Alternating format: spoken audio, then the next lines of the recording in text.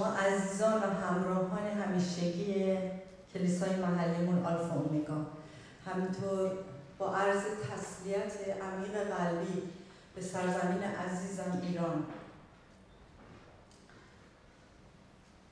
که در این روزها، هفته ها، ماه ها در شرایط خیلی بغرنجی زندگی می‌کنه. و بیشتر از همه تسلیت قلبیمو ابراز می‌کنم به عزیزانی که در سیستان و بلوچستان کلا هیته کردستان که در سختترین شرایط حقیقتا سلح شوران مثل قهرمانان برای آزادی ایران ایستادن. عزیزانم می‌خوام یک دقیقه به احترام این عزیزان که شجاعتشون حقیقتا زنان و مردان ایرانی زنانی که سالیان سال حاشیه بودن. و الان قهرمانانه میان میدان هستن. یک دقیقه فقط سکوت کنیم به احترام این عزیزان.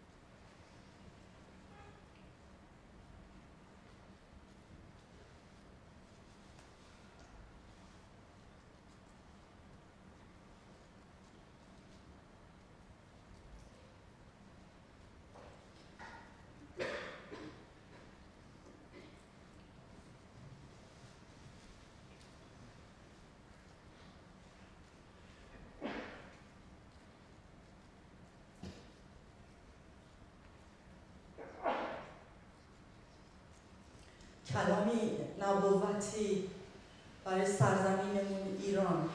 خاک پاک ایران زمین. همین الان تو قلبم اومد. که آنانی که ایران و ایرانی تو رو فرو بریدن ثروت ملی تو رو منابع تو رو شادی تو رو آزادی تو رو رقص و پایکوبی تو رو. خداوند می‌گوید که از تو خواهند گذشت. آنانی که تو شکستند. خداوند میگه دیگر اونها رو نخواهی دید. و تو ایران و ایرانی در نام عیسی مسیح خداوند سرافراز و پاینده خواهی بود. آمین. زیرا خداوند میگه. زیرا خداوند میگه. آن کسی که در این روزهای سخت به من توکل می‌کنه به امید من به ایمان که در قلبشه به محبت من توکل می‌کنه هرگز و هرگز خجل نخواهد شد. آمین. نجات خداوند در ایران خواهد آمد. و کرسی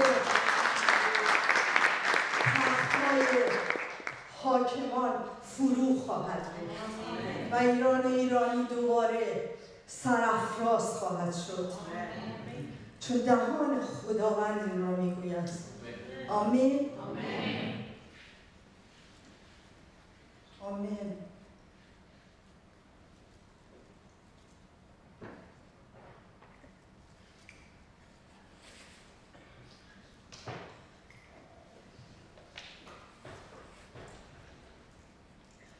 شخصی مطلب خیلی جالبی نوشته بود.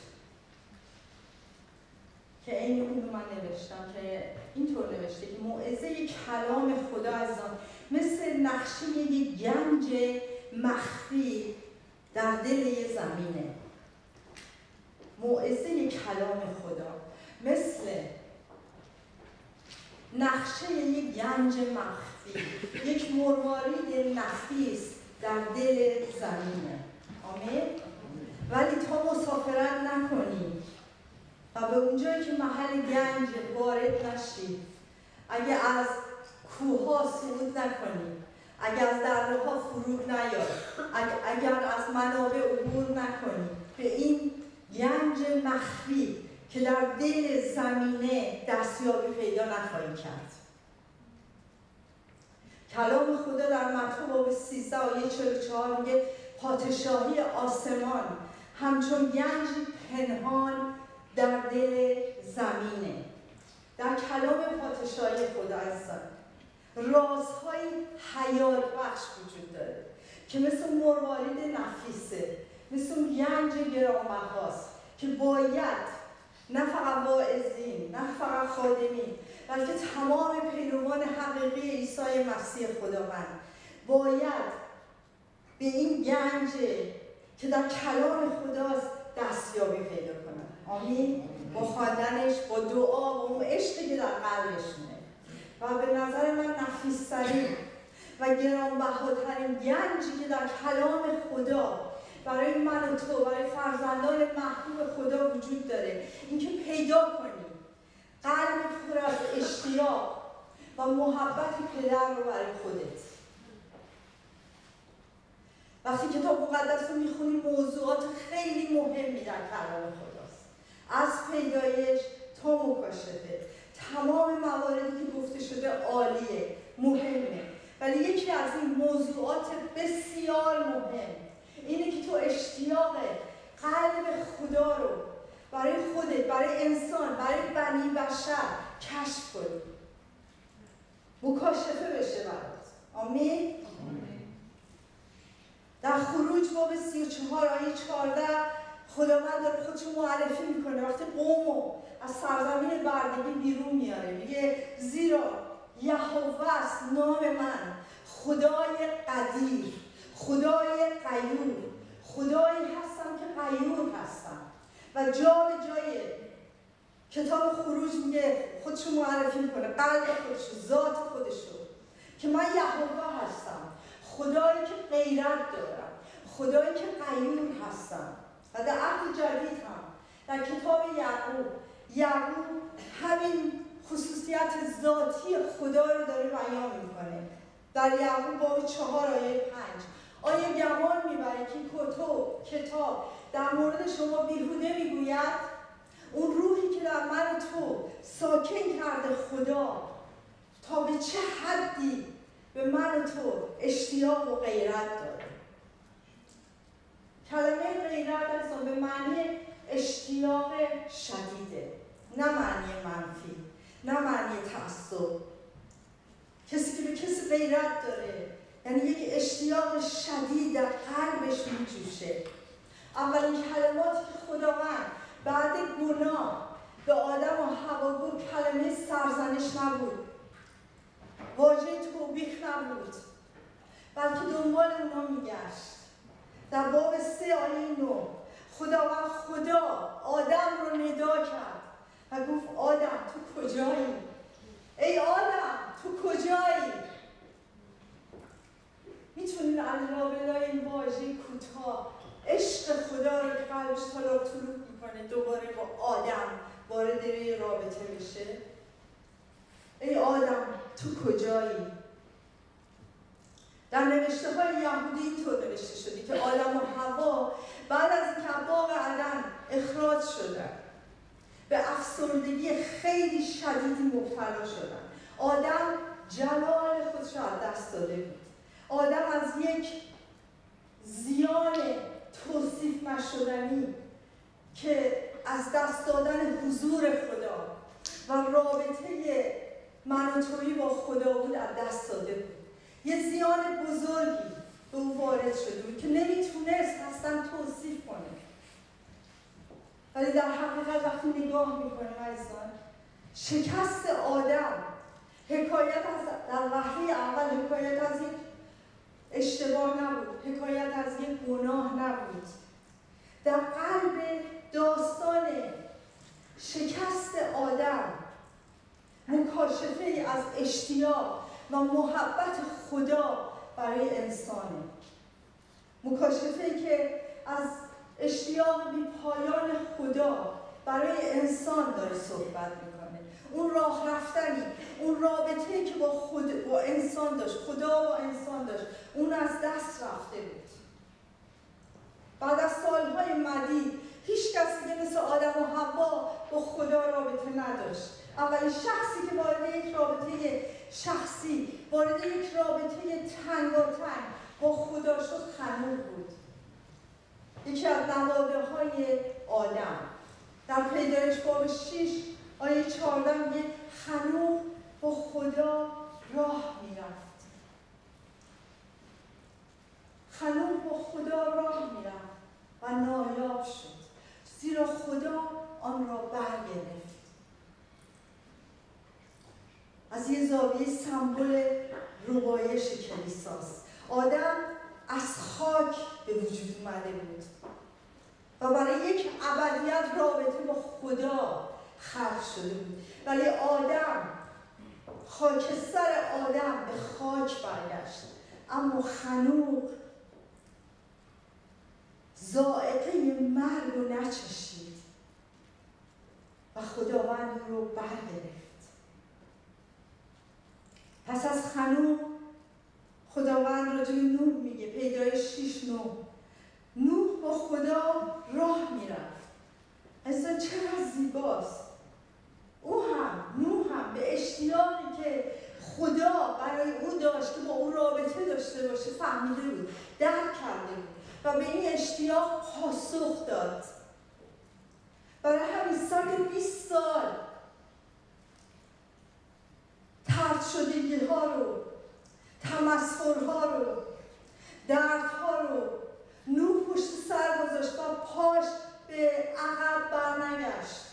چون با خدا چشیده بود یک رابطه من و توی رو. و صد درصد از خدا اطاعت می‌کرد در هر وضعیتی. چرا؟ چون خدا رو محبت می‌کرد. او خدا رو محبت می‌کرد. از این قدرت محبته. این قدرت محبت و شناخت این محبت خداست که باعث میشه در هر چال چلو بیابون و تونبادی با نگاه کردن به نمونه ایمان این جلو بریم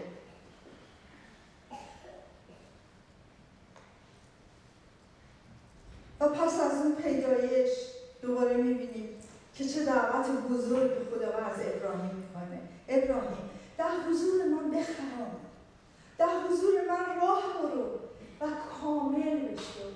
در حضور من راه برو بخرام و کامل بشو. اصلا می‌خوام یک چیزی بهتون میگم که باور صد درصد منه. ایمان صد درصد منه. چون به طور نسبی تجربه کردم و باور دارم.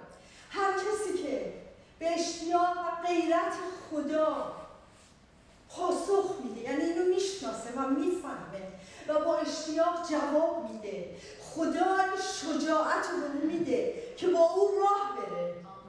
خدا این قوت رو به میده این عشق رو به اون میده که با این آتش سوزان پر از عشق و محبت تماس داشته باشه راه بره رابطه داشته باشه. چون نهایت آرزوی خداوند اینه که با انسان رابطه داشته باشه. وقتی قوم از سرزمین بردگی بیرون می آمدن از خدا خداوند با چه واژگان عاشقانه و شاعرانه داره صحبت می‌کنه. به خود اینکه عهد کی میگه آخه عهد عتیق. همش خشونته. وقتی عهد عتیق رو می‌خونی فقط لابلای اون عشق و محبت پدر رو می‌بینی برای انسان. در خروج باب 19 آیه چهار.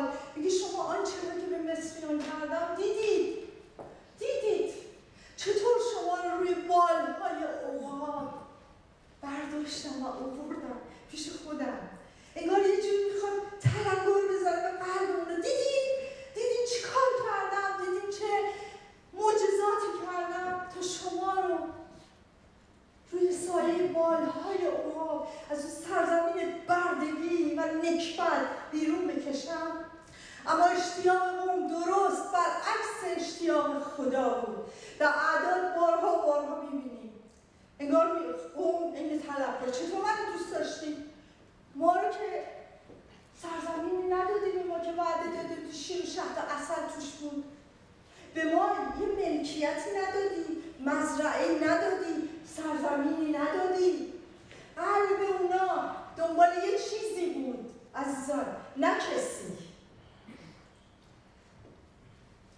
و هر بار هر بار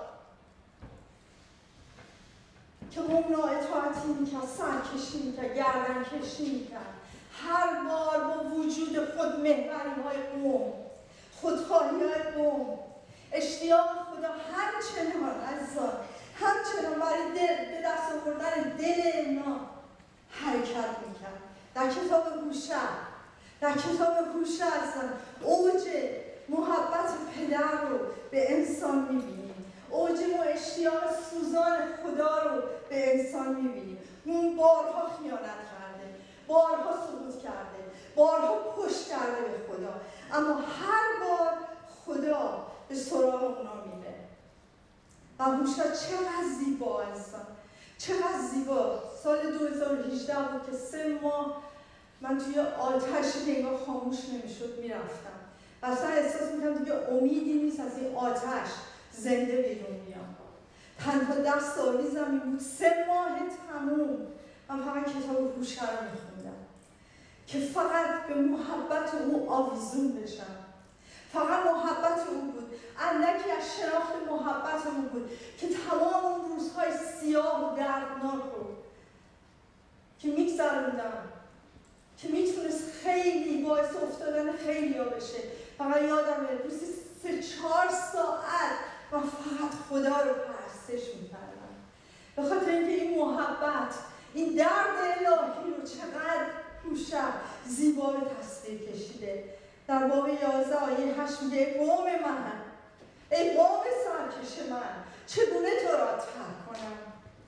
چگونه تو را ترک کنم؟ چگونه تو را تسلیم دشمن کنم؟ می‌خوام ها حقت ها ولی چگونه؟ دل من در اندرونم منقلبه تمام شفقت من داره مشتعل میشه. چگونه تو رو ترک کنم؟ با این همه کل شقی تو. ازا می‌تونیم یه لحظه درک گستره این عشق و محبت خدا رو به انسان متوجه بشیم. اگه فقط یه لحظه متوجه بشیم هرگز. و هرگز دیگه به اون نظامی که ساختاری که در گذشته زندگی می‌کردیم یک سر سوزان بر نخواهیم گشت. اما بزرگترین گواه اشتیاق بی حد خدا در عیسی مسیح بود. تجسم الوهیت در بین انسان چقدر زیبا آشکار شد. و خود خدا خدا و عیسی انگار همون واژگان رو داره میگه. در باب 19 آیه ده زیرا که پسر انسان اومد تو گم شده را بجوید. آشناس کجا هستی انسان؟ و او را نجات بخشد. او را نجات بخشد. پشت درختای انجیر خودشون پنهان کردن. گناه آدم پنهان می‌کنه نیست؟ از اون احساس تقصیر از اون احساس محکومیت. از اون احساس ترس پسر انسان اومد. دوباره بنی بشر رو بجوید و او رو نجات بخشد. ارزش ما چقدره عزیزان؟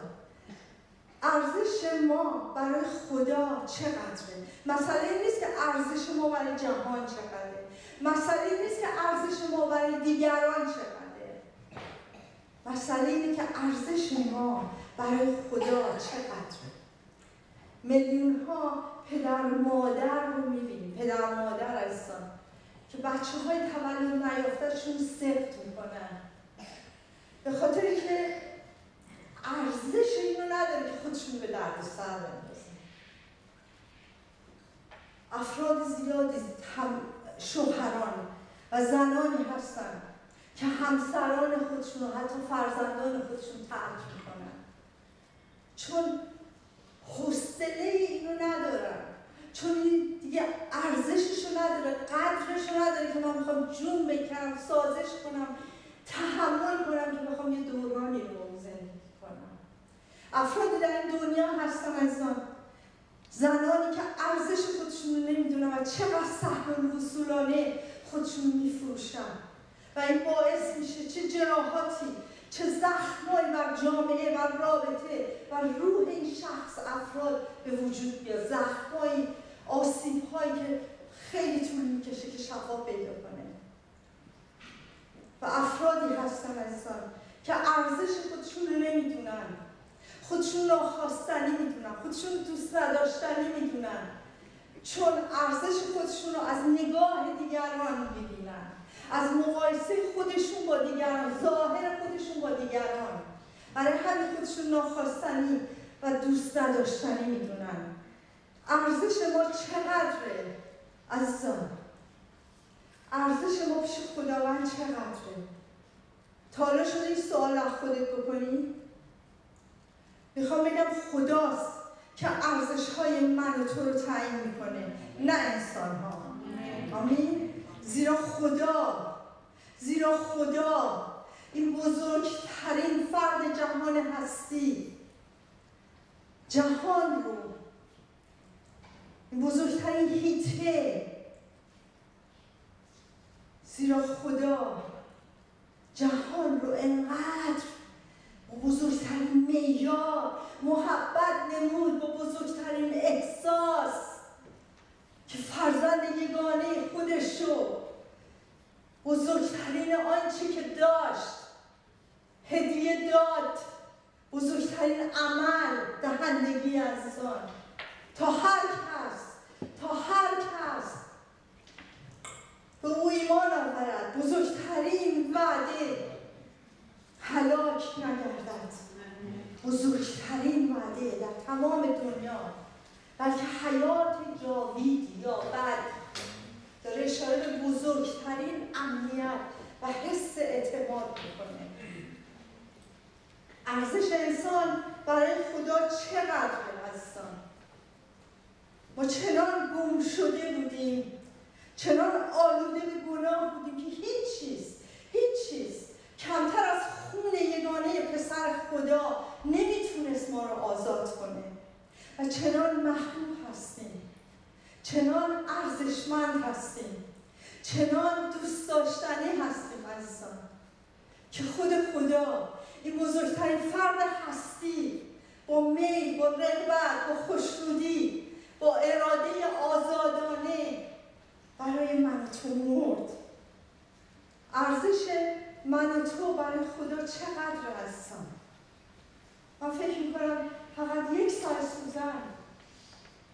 درک کنیم این محبت رو نه محبت ما نسبت به خدا. در وهله اول محبت رو به ما. از این جهت ما رو محبت می‌کنیم که او اول ما رو محبت کرد. از اگه محبت رو نشناسیم اصلا نمی‌تونیم وارد رابطه محبتانه با داماد بشیم. درک گستره محبت چقدر عزیزان؟ اگر یک سر سوزان بفهمی با قلب ما ممنوع از اشتیاق. و هیجان بکنه برای اینکه به دست بیاریم. این گنج مخفی رو که در دل کلام خداست در اون خلوتگاه دعای ماست. این مروارید نفیس محبت عیسی مسیح به من و توست. و متمرکزترین مورد در زندگی من تو خواهد شد. هیچکس و هیچ چیز نمی‌تونست بهای آزادی من و تو رو بده. در مزمور 49 میگه زیرا فدیه جان انسان گرانبهاست. هیچ کس هیچ کس بچه نمی‌تونه برای مادرش بده. بچه نمی‌تونه برای مادرش بده. مادر که بچهش شگرگوشاشه هرگز نمی‌تونه فدیه یه رو بده. فدیه جان انسان چقدر گرانبهاست که هیچ انسانی نمی‌تونه بپردازه در اول پتروس باب یک آیه 17 میگه زیرا می‌دانید که خریده شده اید نه با چیزهای فانی مثل نقره و طلا بلکه به خون گرانبهای بره بیعیب و بیداغ خون عیسی مسیح خداوند. مثلا ارزش تو چقدره؟ تو می‌دونی چقدر همین الان روی صندلی ها نشستی؟ شاید تو ذهن پر از گفتمان های منفی ناامیدی شکستاست الان به فکر اینی یه ساعت دیگه دو ساعت دیگه چی کار کنی؟ شاید اصلا زمان حال خدایی نکرده داری از دست میدی. اصلا اشکال نداره. ارزش تو برای خدا خیلی زیاده. برای همین اینطور وفادارانه داره من تو رو دنبال می‌کنه. از طریق کلام داره صدای تو رو صدا می‌کنه در قلبت میکوبه. دختر من فرزند من که به بهای گرانی خریده شد چی کار می‌کنی؟ الان کجای زندگی هستی؟ تو برای نجات پیدا کردی که با من؟ از خونکای باغ مثل آدم و هوا راه بری و وجودت مملو از خوشبختی باشه. ارزش واقعی ما چقدر هستم چرا خدا اینجوری ما رو دوست داره؟ چرا؟ چون من فکر می‌کنم تنها و تنها خداست که ما رو آفریده و ارزش واقعی ما رو می‌دونه. فقط خداست. و فقط فیض عزیزم. فقط محبته که چنین ارزشی رو در من تو می‌بینه. فقط فیض و محبته وقتی فیض و محبت در من تو قرار بگیره من تو هم اینطوری هم دیگر رو با تمام ضعفا نگاه می‌کنیم او گنجهای مخفی رو در من تو می‌بینه. اون گنجهای مخفی رو دید.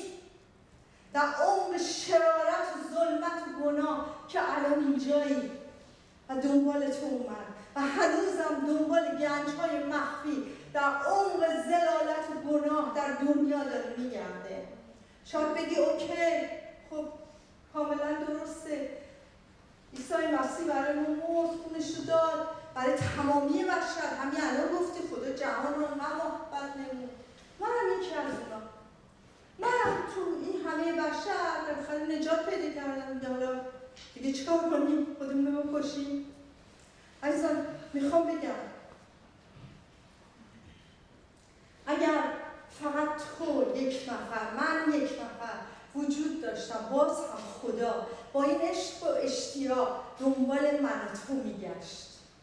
و همین بها رو برای یک نفر من و تو می‌داد. باور می‌کنی؟ کتاب مقدس رو ثابت می‌کنه در مرقس باب پنج آیه سه تا پنج بعدا می‌تونیم بریم بخونیم. من داستانش رو برای اینکه طولانی نشه طور خلاصه براتون تعریف می‌کنم. نوشته شده عیسی مسیح تمام روز با شاگرداش بود. تمام روز شاگرداش تعلیم تعلیم دادن موعظه کردن تمام روز یعنی چی؟ یعنی دیگه چلونده شده. یعنی دیگه هیچی از تو نمونده. عیسی خسته داغون. سوار قایق میشه که فقط بره یه جای پنهان یه جای ساکت. یه ذره جون بگیره. همین که وارد قایق میشه طوفان شدیدی میاد.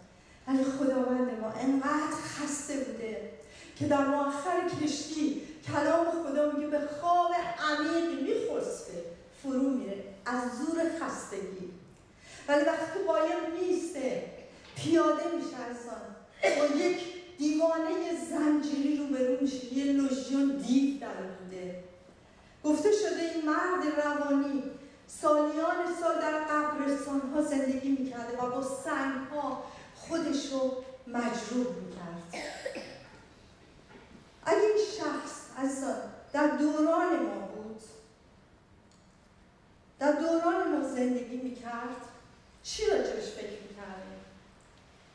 خدا وکیلی اگه صادق باشیم با خودمون چه فکر می‌کردیم اولین کاری که می‌کردیم میذاشتیمش توی مرکز روانی روان پزشکی چون این نباید تو با سنگ خودش رو می‌زد. و بعدم مقداری های قوی به اون می‌دادی که یکم آروم بگیره. نیست؟ و به عنوان در آخر در بهترین شکلش به عنوان یک مطروط جامعه با او رو به رو می‌شدیم با او رفتار می‌کردیم. از اینا رو برخورد کردیم باش.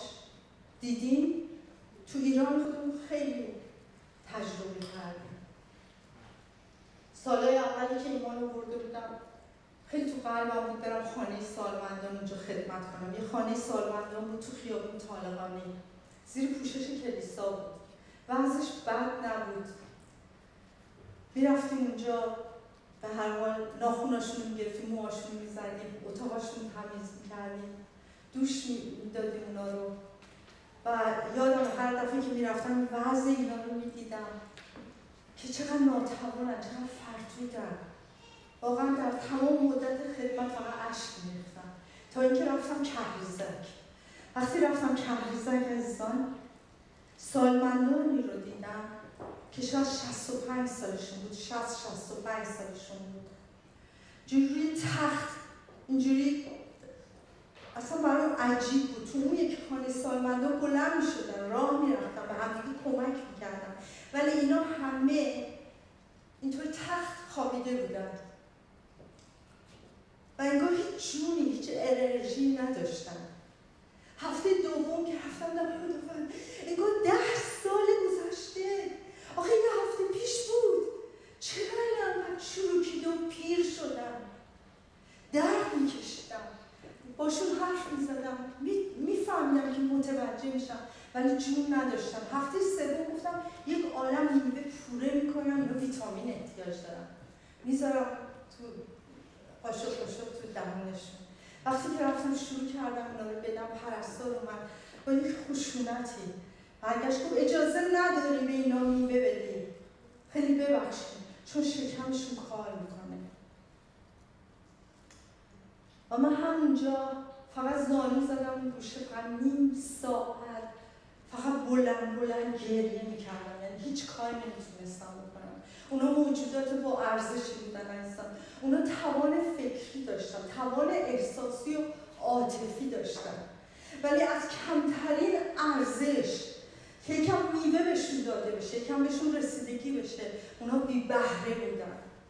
متوجه این؟ واقعیت دنیای کنونی ما شاید خیلی بدتر و خیلی دیدن. ولی همین مرقس باب پنج رو که می‌خونیم از در داستانش می‌بینیم که این دیو زده رو می‌بینیم که وقتی که عیسی مسیح داغون و خسته با او روبرو شد چه ارزشی به میده چقدر وقت برای داره چقدر اون خدمت می‌کنه در پایان روز می‌بینیم دیو زده اوریان لباس پوشیده کنار عیسی صحیح و سالم نشسته اگر من تو یک نفر فقط بودیم اگر من فقط بودم اون رو ایمان دارم که از لجن از چاه حلاکت بالا می‌کشید پاهامو روی صخره میذاشت. اینو ایمان دارم که بهای آزادی من رو با همون خون گرانبهای عیسی مسیح خدا من می‌داد. اگر عمق این محبت رو بفهمیم حتی یک سر سوزن عزیزان حقیقتا می‌تونم میگم تا ابدیت تا وقتی که روی این زمین هستیم با فروتنی با خدا ترسی با سرسپردگی با عشق او رو پیروی خواهیم کرد و او رو خدمت خواهیم کرد بدون هیچ منتی. اگر این عشق رو بشناسیم بی خود نبود. و واقعا هیچ تعجبی نداره وقتی فرشتگان در زاد روز تولد او اینطور بالبال می‌زدن. اینطور شادی می‌کرد از سرودخانان سلامتی رو روی زمین اعلام کردن رضامندی رو در بین آدمیان به خاطر تولد عیسی مسیح خداوند فرشتگان جشن گرفتن و داوود که من فکر می‌کنم بیشتر از همه محبت و میشناخی عشق و نسبت به خودش میشناخت. تو مزمور هشت چقدر زیبا میگه. چون با آسمان تو مینگرم که اثر دستای توست و به ما و ستارگانی که تو آفریدی. انسان چیست که اون رو به یاد بیاره؟ انسان چیست؟ وقتی با خدا رو برو میشی به کوچیکی خودت و به عظمت خدا پی می‌بری. انسان کیست که اون رو به یاد بیاره؟ او رو اندک فرشتگان کمتر ساختی تو ترجمه یونانیش میگه از اندک الوهیم یعنی پدر پسر روح القدس کمتر ساختی. و تاج جلال و اکرام رو بر سر او نهادی. داوود چه روزایی رو میگذرن چرا عزیزان؟ چی ما رو نگه میداره در جفاها و سختی ها تهدیدات؟ به جز اینکه این محبت رو بشناسیم بچشیم و هر روز با خدا راه بریم در هر وضعیتی. هیچ کجا عزیزان هیچ کجا مثل کلام خدا ارزش انسان رو تعریف نکرده.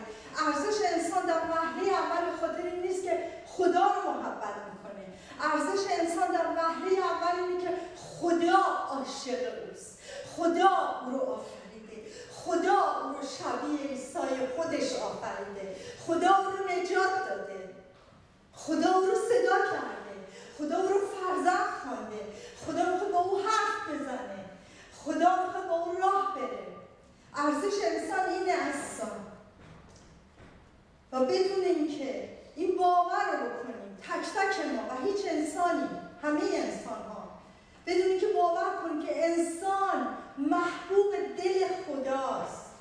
هیچ بنیادی برای ارزش انسان برای ما باقی نمیمونه.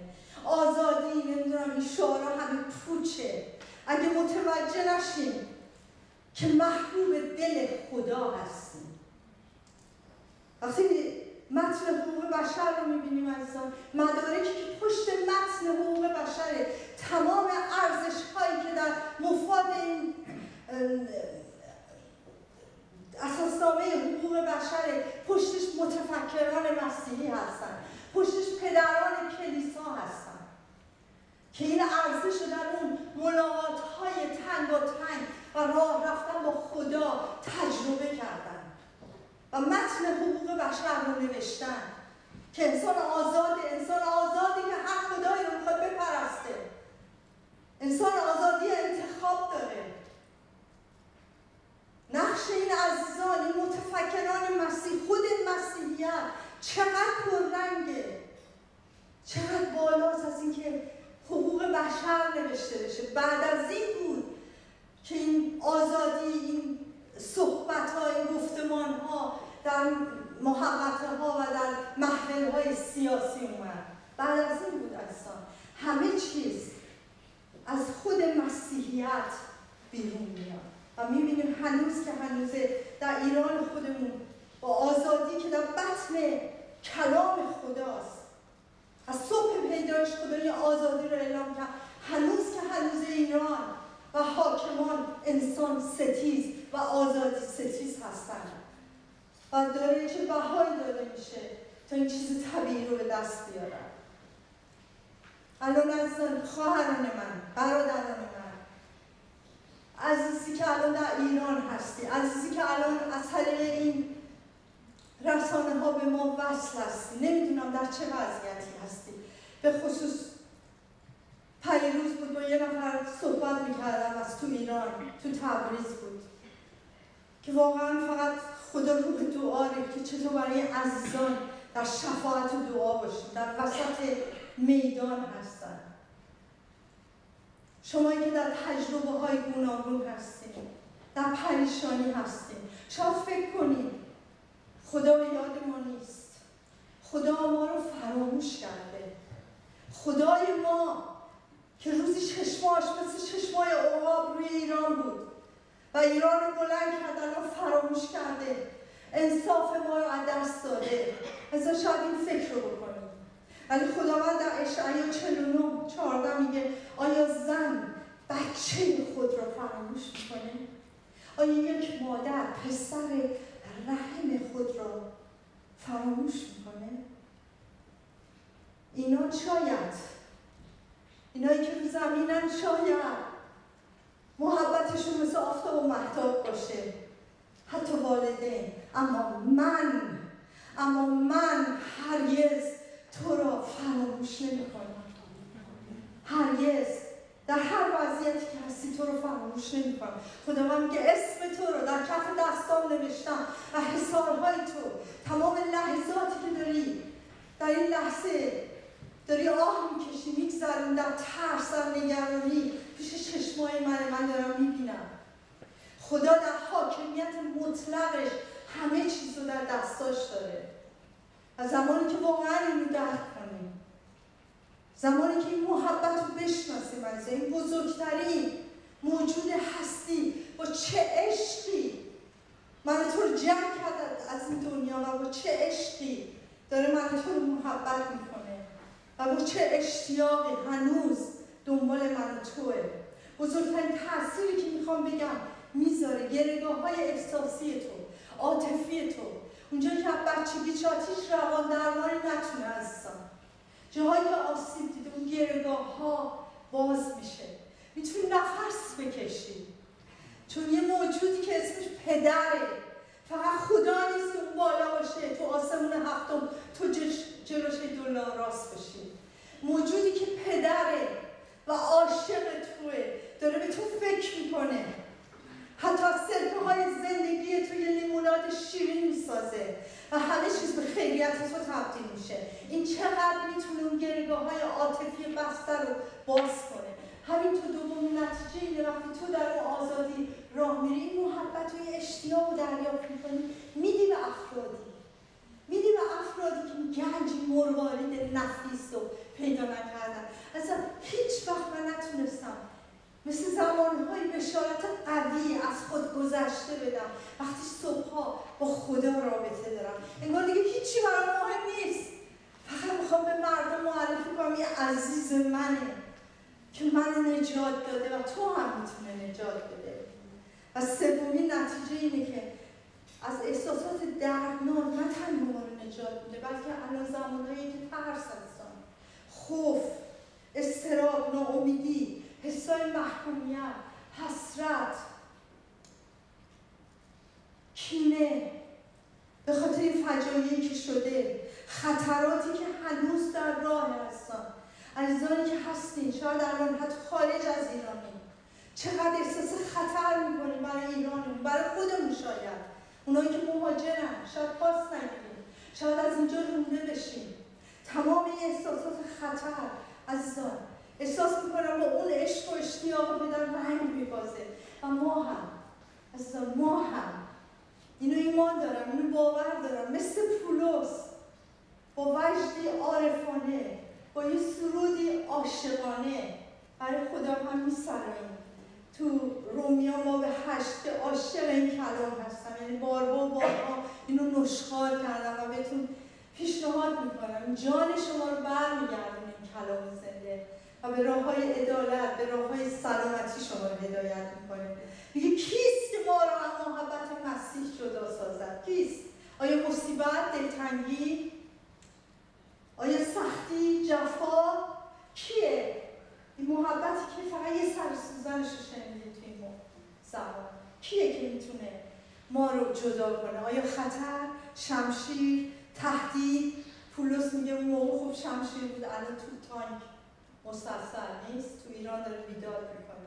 میگه کیه که بتونه ما رو از این محبت جدا کنه؟ چنان که مکتوب از پولس میگه. اگر تمامی روز مثل گوسفندانی باشیم که ما رو به کشتارگاه می‌برن. حتی تو این وضعیت خود پولس و خیلی از عزیزان تو همین ایران ما مسیحی تجربه کردن. حتی اگه مثل گوسفندانی باشیم که به کشتارگاه برده میشیم پولس میگه بیشتر از همه اینا برتر از همه اینا پیروزمندان مثل پیروزمندان هستیم. نصرت یافتگان هستیم. چرا؟ به وسیله عیسی که من تو رو محبت می‌کنه. بعد اوج اندیشه پاک و نیکو رو در آیه 38 پولس ادامه میده. زیرا زیرا یقین می‌دانیم از یقین می‌دانید بگیم یقین می‌دانیم بذارید گوشاتون بشنوه که شما یقین می‌دانید این محبت رو ششیدیم برای همین اینجا هستیم. برای همین می‌تونیم زفرمندانه بگیم یقین می‌دانم. زیرا یقین می‌دانم. نه مرگ نه زندگی. اگه بمیریم پیش عیسی مسیح هستیم. اگه زندگی کنیم داریم او رو زندگی می‌کنیم. آمین؟ نه فرشتگان نه ریاست ها نه هیچ نیرویی نه چیزهای حال چیزهایی که الان باشه سر کله داریم می‌زنیم نه ترس های آینده فکر می‌کنم آینده چی میشه. دیگه هیچ چیزی هیچ قدرتی. نه بلندی نه پسی نه افت و ها یه روز پیروزی یه روز پای پایینیم تای چاری یه روز پر از عشق و محبتیم یه روز خالی. هیچی نداریم. خدا انقدر عاشق ماست که حتی این چیزا رو می‌تونه اون زمان ها باز هم رو محبت می‌کنه و نه هیچ چیز دیگر نه هیچ چیز دیگر ازم در تمامی خلقت نه هیچ مخلوقی. حتی خود تو حتی خود تو. اگه رو برگردونی بارها بارها رو برگردونم. بارها اعتماد و ایمانم از دست دادم. بارها رو ولی همچنان محبت کرده و امین و وفادار بوده. نه هیچ چیز دیگر تا تمامی خلقت قادر نخواهد بود که ما را از محبت پدر که در عیسی مسیح خداوند جدا سازه هیچ چیزی قادر نخواهد هیچ چیزی از لحظات چشمامون رو ببندیم. احساس می‌کنم روح القدس می‌خواد. شاید الان این چیزا رو شنیدی فقط توی ذهنتون اجازه بدیم القدس این محبت رو. میگه روح القدس محبت خدای پدر رو در قلبهای ما میریزه. آمین. چند لحظه بذاریم روح القدس این محبت خدای پدر رو که فقط شنیدیم کلمات بود در قلب ما بریزه. ای خدا من ای خدای عالی ای خدایی که پر از فیضی پر از رحمتی دیر خشمی کسی رو احسانی عظیم حکمتی خدایی که خودتو معرفی کردی آکنده از محبتی آکنده از رحمی. دعا می‌کنیم خدا من دعا می‌کنیم. ذهنایی که پراکنده شاید حتی عمق عشق و هنوز متوجه نشدن. شاید هنوز از ذهنشون دعا می‌کنم ای روح قدس فقط تو باید پرده برداری کنی. انسان خیلی حرف می‌زنه. حتی اگه یک کلمه از این محبت از این عشق از این اشتیاق از این غیرتی که تو برای تک تک ما داری الان پرده برداری کنید از ذهن عزیزانی که مشتاقن فارغ از هر مشکلی که دارن فارغ از هر چیزی که توش دست و پا میزن در این لحظه روح القدس تو بر اونا بریز. تا تمرکز اونا به طرف این محبت باشه. و تو این محبت رو جاری کنه قلب اونا ای خدا من کیست که بتونه لیاقت داشته باشه؟ کیست که بتونه اونطور که تو شایسته ای تو رو محبت کنه؟ کیست که بتونه اون عروس منکوبه تو رو در آتش ها و بیابان ها پیروی کنه کیست که بتونه با فروتنی کمرش به قوت ببنده و در هستی و چال و بدبختی خدا من تحمل کنه و فقط تو رو پیروی کنه کسی که این محبت رو شناخته کسی که این محبت آگاهه و ایساگرانه رو از طریق تو شناخته. ای خدا من دعا می‌کنم کلیسا تو با این عشق و محبت آشنا کنی. تا این موعظه عالی هفته پیش که برادرم امیر کرد. ما بتونیم مثل اون عروسان خدا من از جان گذشته اون عروسان سر سپرده در هر وضعیتی تو رو محبت کنیم. به تو عشق بورزیم من. و در هیچ وضعیتی از مهر تو از عشق تو جدا نشیم ای خدا من. چون اگر هویتی داریم اگر هستیم اگر داریم نفس می‌کشیم اگر عنوان یک انسان انسان حقیقی یک ذره اون چیزی که تو آفریده در ما موجودیت داره فقط و فقط زمانی که با تو راه میریم با تو رابطه داریم به اشتیاق پرشور و سوزان جواب میدیم پاسخ میدیم و ما ایمان دارم که تو همه چی در دستای توست و تو ابتکار ما رو در دست گرفتی که ما رو عمیق و عمیقتر به سوی اینک خداوند اینک خداوند میگی ما حاضر هستیم. ای خداوند هر چیزی از بیت در قلب ماست نمی‌ذاره خداوند مانع هاست از ما بردار تو از مهر تو در هیچ وضعیت جدا نشیم خداوند. کلیساتو نزد خودت بلند کن. اگه قلب های سرد و بیتفاوته ای خداوند با عشق سوزانه قلب رو نرمس کنی خداوند.